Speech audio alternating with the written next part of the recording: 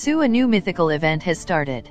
And it brings us to the Greek gods, which includes Zeus, Poseidon, very powerful Hades, and Artemis, where Zeus throws lightning strikes at enemies and also stuns them.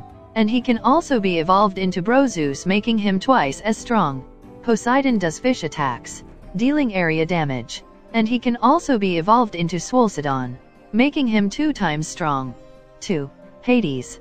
Undoubtedly is the best monster in the game right now, dealing an insane number of strikes with a single attack, making him the fastest monster.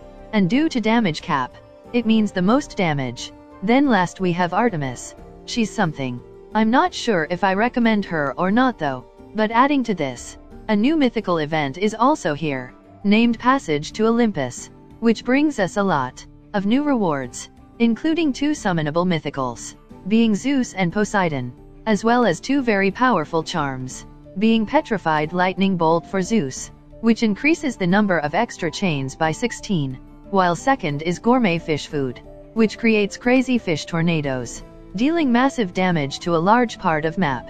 I think 4000% of that of Poseidon's attack. And with that said, their sequence of summoning should be Hades at first, Poseidon at second, Zeus at third, and Artemis at last and use rerolling to ensure that you get them all. Secondly, we also have minor version update, and it takes us to version 1.83.8.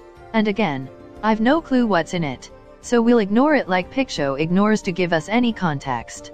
But anyways, I hope you liked this video, good luck for summoning. Thanks for watching, just keep grinning and aura is mine.